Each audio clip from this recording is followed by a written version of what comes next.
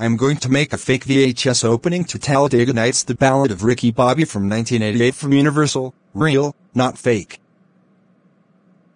E.T. Pussy 4, 4, 5. How dare you make a fake VHS opening to Talladega Nights The Ballad of Ricky Bobby from 1988 from Universal? Real, not fake? It's very fake as hell. Talladega Nights is not from Universal, it's from Sony Pictures and Columbia Pictures. And Talladega Nights came out in 2006, not 1988. And you're grounded for 9 months for making a fake VHS opening. Get off the computer and go to bed now, and they'll give you a spanking later.